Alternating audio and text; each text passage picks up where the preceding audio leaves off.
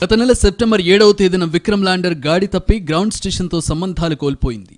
ఆ తర్వాత తిరిగి సంబంధాలు పునరుద్ధరించేందుకు ఇస్రో శాస్త్రవేత్తలు చాలా ప్రయత్నాలు చేసినప్పటికీ అది వీలు పడలేదు గ్రౌండ్ స్టేషన్తో విక్రమ్ ల్యాండర్ సంబంధాలు కోల్పోయినప్పటి నుంచి ఇస్రో దాని జాడ కనుగొనేందుకు విశ్వ ప్రయత్నాలు చేసింది. సెప్టెంబర్ పదిహేడున నాసాకు చెందిన lunar reconnaissance orbiter Vikram lander land అయిన చోటుపై నుంచి ఎగిరి కొన్ని ఫోటోలను తీసింది. ఆ తర్వాత అక్టోబర్ పద్నాలుగున మరోసారి ఎగిరింది. రెండుసార్లు ల్యాండ్ అయిన చోటును మాత్రమే గుర్తించగలిగింది కానీ ల్యాండర్ జాడ మాత్రం కనుగొనలేకపోయింది. అక్టోబర్ పద్నాలుగున జరిగిన రెండో ప్రయత్నంలో lunar reconnaissance orbiter Chandrayaan two lander land అయిన ప్రాంతంలో ఫోటోలు తీసింది. అయితే ల్యాండర్ ఆ సమీప ప్రాంతాల్లో ఉందని చెప్పేందుకు ఎలాంటి ఆధారాలు లేవని నాసా శాస్త్రవేత్తలు చెబుతున్నారు. అంతేకాదు అక్టోబర్ పద్నాలుగున తీసిన ఫోటోలను విక్రమ్ ల్యాండ్ కాకముందు ఆ ప్రాంతాన్ని తీసిన ఫోటోలను పోల్చి చూసినట్లు ఎడ్వర్డ్ తెలిపారు. రెండు ఫోటోల మధ్య ఏమైనా తేడాలు కనిపిస్తే ఫలానా చోట ల్యాండర్ ఉందని చెప్పేందుకు వీలుంటుందని శాస్త్రవేత్తలు చెప్పారు.